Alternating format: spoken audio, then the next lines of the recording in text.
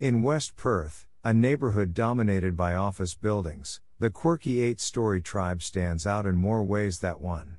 Many of the 126 modular rooms overlook Kings Park, offering a retreat for business travelers and tourists alike.